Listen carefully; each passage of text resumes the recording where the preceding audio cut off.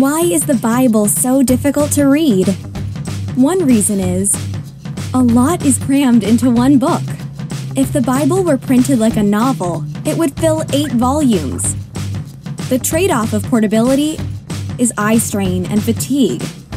Until now, Thomas Nelson and Zondervan Bibles have teamed up with the world's foremost typeface foundry to create exclusive Comfort Print Bible fonts. These Comfort Print Bibles are easy to read at any size. Find the perfect Comfort Print Bible for you.